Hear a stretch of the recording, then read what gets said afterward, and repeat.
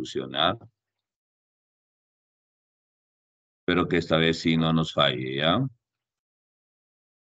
Esperemos, esperemos. Ya está. ¿Están viendo mi pantalla, chicos? Sí, profesor. Sí, profesor. Ya está. Excelente, jóvenes. Si están viendo mi pantalla, eso es excelente. Bueno. La clase del día de hoy, jóvenes, la clase del día de hoy se llama geomorfología, ¿ya? Geo así, geomorfología del territorio peruano. Eso es lo que vamos a ver. La geomorfología, jóvenes, tiene que ver con el estudio de los diversos tipos de relieves que hay en el territorio nacional. Ya más adelante explicaremos cómo se generan los relieves. Hoy solamente vamos a hacer una descripción de los relieves que hay en las distintas regiones naturales. Y lo primero que uno tiene que saber, jóvenes, que, o tiene que entender, que los relieves en el Perú, jóvenes, parten de qué? De la famosa cordillera de los Andes. ¿Ya?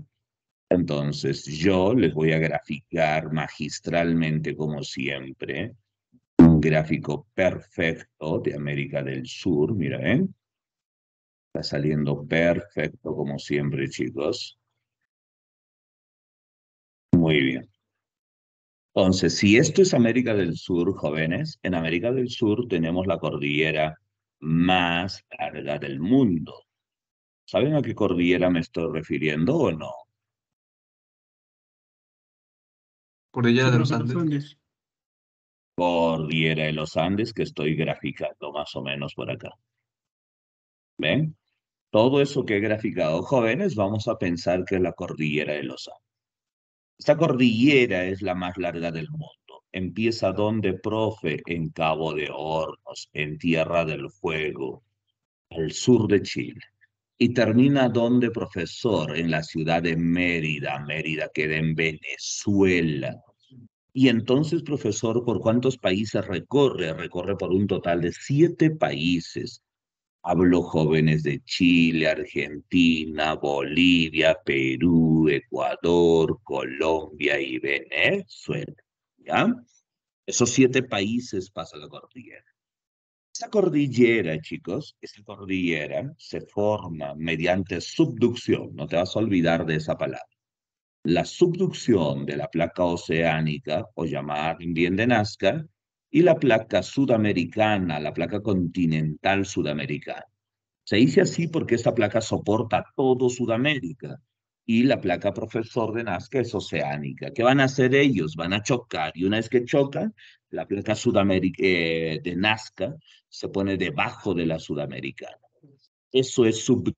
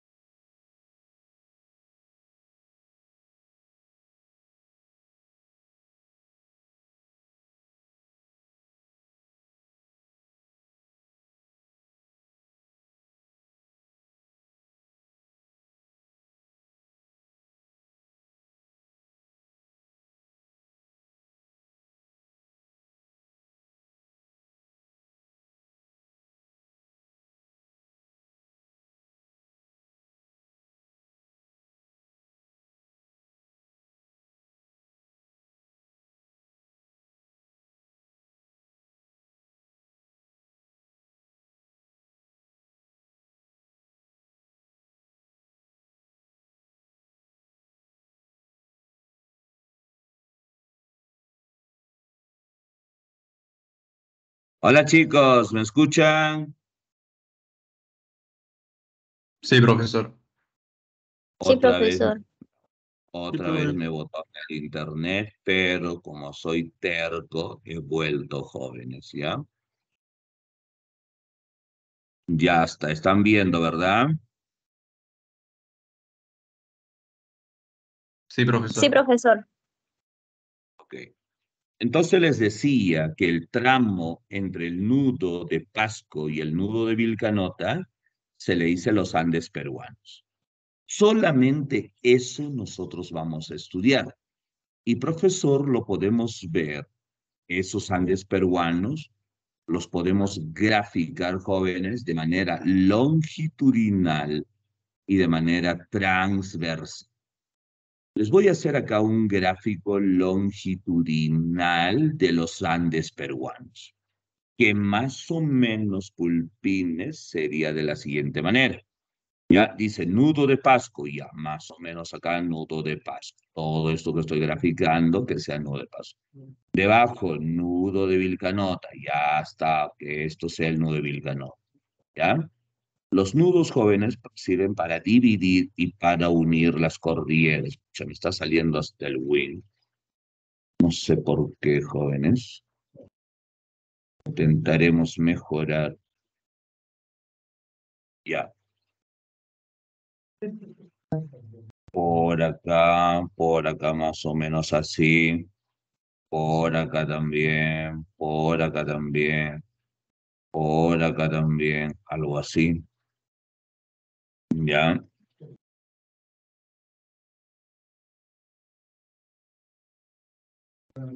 Mira, vista de manera longitudinal los Andes peruanos, tendrían más o menos así, ¿ya? Miércoles. Tendría eh, esta gráfica más o menos, ¿ya? Entonces, lo que te decía, en el centro, joven Bulpín, en el centro está el nudo de Pasco, y esto se llama nudo de Pasco, este se llama nudo de Vilcanota, el bracito que va por la derecha se llama cordillera oriental, no te vas a olvidar. Por la izquierda, cordillera occidental. Por el medio, cordillera central.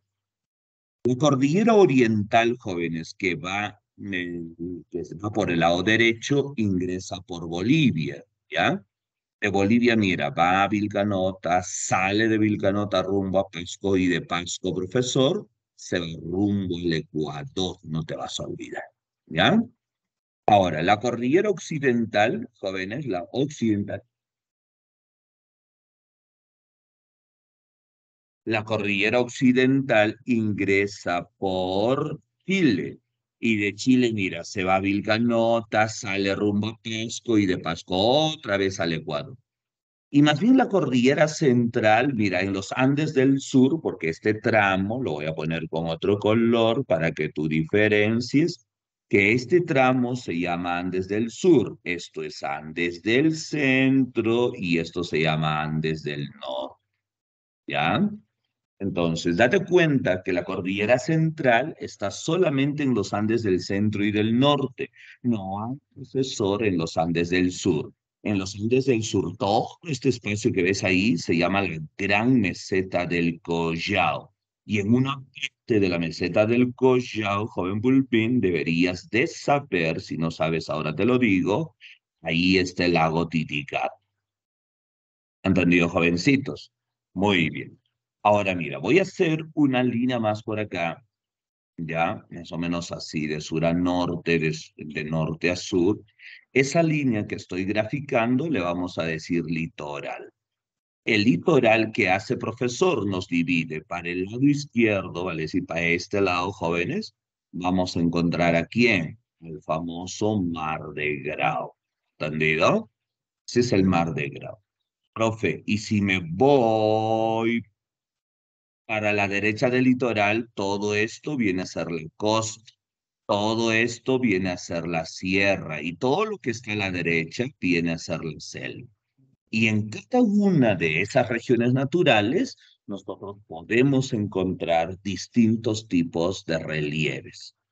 ¿Hasta ahí se entendió lo que hice, jóvenes, o no? Sí, profesor. Ok. Sí, profesor. Pero también, jóvenes, podemos hacer una división, no solo longitudinal, una división transversal. Cuando yo digo una división transversal, significa que lo vamos a hacer de oeste a este o viceversa. ¿Entendido? Y una división transversal, jóvenes del territorio peruano, sería como profe, más o menos así, mira. No te olvides que el litoral, ¿cierto? El... ¿Qué pasó acá? ¿Ya? Tenemos que graficar en primer lugar el litoral peruano. El litoral, no se olviden que va desde el departamento de Tumbes, acá arriba debe estar Tumbes y debe terminar acá que está. ¿Entendido? Entonces, ese es el litoral. El litoral, profesor, para la derecha, dijimos, encontramos la costa. Y en la costa hay distintos relieves que ahorita vamos a pasar a enumerar. Voy a colocar unas cosas así más o menos para que ustedes se guíen. Voy a intentar hacer un gráfico acá.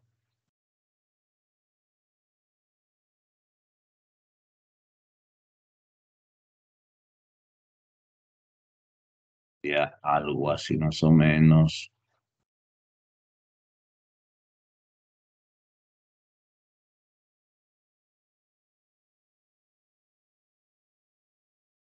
Ya. Entonces, eh, más o menos estamos haciendo un gráfico transversal, jóvenes. Eh, ¿De qué? De, de la morfología peruana. Acá voy a poner acá el nivel del mar. Y bajo las aguas del mar, el mar de Grau, también hay relieves importantes que debemos de saber. Intentaré graficar más o menos acá. Algo así. Uy, Ah, no, ¿qué hice, señor? Chicos, están de mala suerte. ¿Quién ha borrado mi gráfico? Ay, Dios. ¿No funciona control más Z, profe? No. Control más F4, profe. ¿Control qué? Control Z, profe, control Z. Sí, control Z, pues estoy presionando. eh, y ya fue. Se ha borrado sin que haga nada. Bueno, intentaremos eh, graficar nuevamente, más o menos así era el litoral. Y acá, jóvenes, venía la costa peruana. ¿Sí? Lo primero que viene la costa peruana.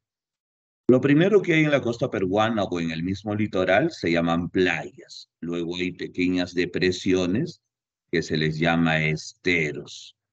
Luego, jóvenes, podemos encontrar zonas planas llamadas pampas.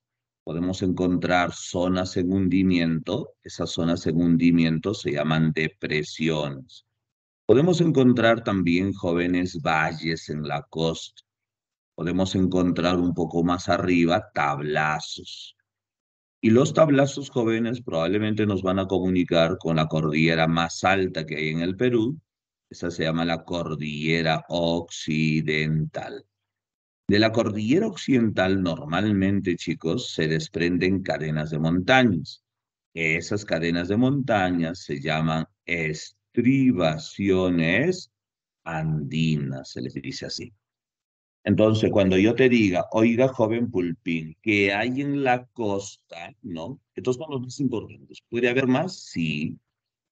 Entonces, cuando yo te diga, ¿qué hay en la costa? Tú me dices, profe, hay playas, ¿no? Hay esteros, pampas, depresiones, valles, tablazos y estribaciones andinas, ¿ya? Eso es lo que hay en la costa. Luego, la cordillera occidental, como vimos en la gráfica anterior, es el límite entre la costa y otra región natural que empieza por acá, llamada la sierra o la región andina, ¿ya? En la sierra o región andina del Perú también hay relieves. Por ejemplo, se me ocurre que acá yo voy a graficar algo así más o menos, que serían los volcanes. También, jóvenes, hay cañones, ¿ya? También, chicos, que hay, hay mesetas, ¿ya? ¿Qué encontramos también, profe? Valles, pero se les dice, ojo, para diferenciarlos de la costa, se les dice valles interandinos. Y de repente llegamos a una cordillera algo elevada, no tan alta. Esa cordillera no tan alta se llama la cordillera oriental, se le dice así. Entonces, miren, yo te voy a preguntar, ¿no? ¿Qué hay, joven Bulpín, en la sierra del Perú? En la sierra, me dice profe, está la cordillera occidental, los volcanes, cañones, mesetas, valles interandinos. Y la cordillera oriental es el límite. ¿Entre quién? Entre la sierra y otra región natural, ¿cierto? Que debe estar. ¿Qué región natural falta, chicos? ¿Qué región natural falta? Selva. Selva.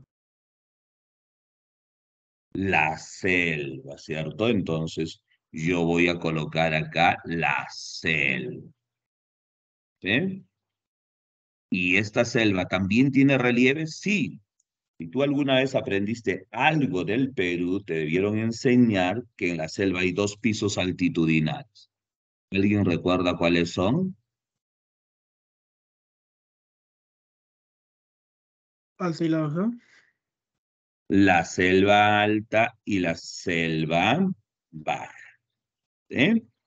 A la selva alta, jóvenes, morfológicamente se les llama así región subdin.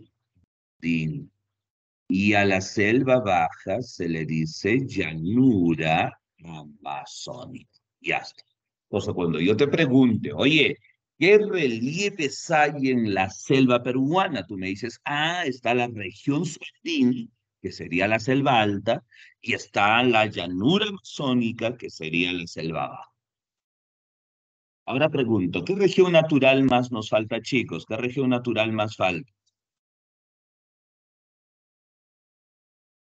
Eh, el mar. El- mar de Grau. El mar de Grau, pues, joven, ustedes están durmiendo como todo el día. ¿no? El mar de Grau nos Para eso, profesor, ¿qué hacemos? Prolongamos un poco desde esta línea y esto es lo que vamos a llamar, pues, lo que había escrito antes de que se borre todo, era el nivel del mar. Y en el nivel del mar, profesor, ¿hay relieves? Claro que sí hay relieves, ¿no? Entonces voy a graficar más o menos así. Bueno, estaba graficando así hasta que se borró luego, ¿no? Luego graficaré más o menos así, una cosa así. Ya está. Entonces, el primer tramo que estoy graficando acá, este pequeño declive, se llama zócalo continental. El declive más pronunciado hasta esta línea punteada de rojo que estoy colocando se va a llamar talud continental. Todo lo que esté por debajo del talud continental se le dice la fosa peruana chilena, se le llama así. Ahora, si te das cuenta, acá hay una cordillera, pero que está bajo las aguas del mar. A las cordilleras bajo las aguas del mar se les dice dorsales. En el caso del Perú se llama dorsal de Nazca. Y más allá de la fosa y de la dorsal, tenemos los fondos abisales. Abisal hace referencia a la profundidad. Ya. Entonces, mira, acá ¿qué he hecho, profesor? He hecho una división transversal del Perú. ¿Ya? Entonces, la división, esta división transversal, jóvenes del Perú.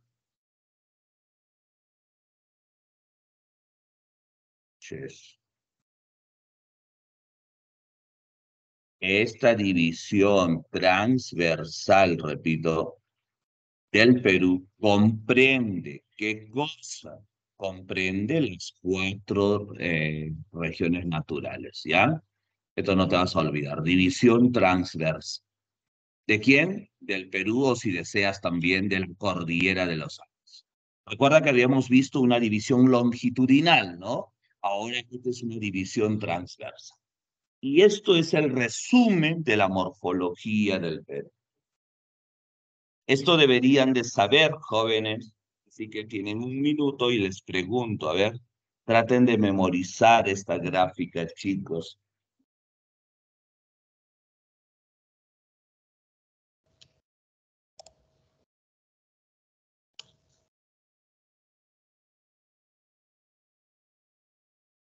O sea, cuando yo te diga, oiga, joven Pulpín, ¿qué relieves hay en el mar peruano? Ah, en el mar peruano o en el mar de Grau, me dices, profe. Uno, ¿qué tenemos, chicos? Zócalo continental. Ya, Dos dos, continental. tenemos el talud. Continental, tres, tenemos la fosa Perú, Chile. Peruana chilena, el cuatro tenemos la Dorsal de Dorsal de Nazca.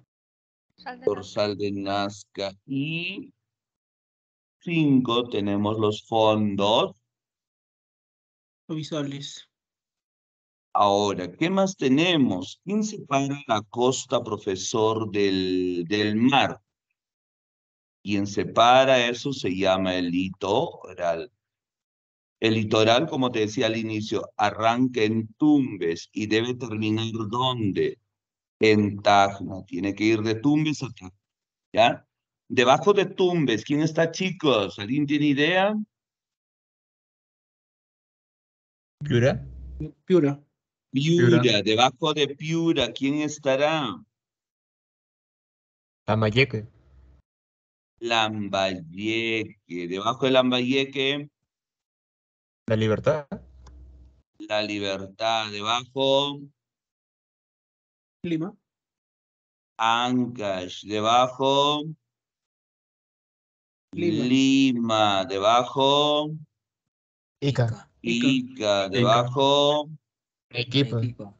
Arequipa. Arequipa. Debajo, Tegua. Moquegua. Moquegua. Y termina, ¿eh? Tajna. Y profesor, arranca la costa, que hay en la costa, te he dicho, hay playas, esteros, pampas, depresiones, valles, tablazos, estribaciones andinas. Y llegamos a dónde? A la cordillera occidental, que es la más alta del Perú, ¿no? Divide la costa de la sierra.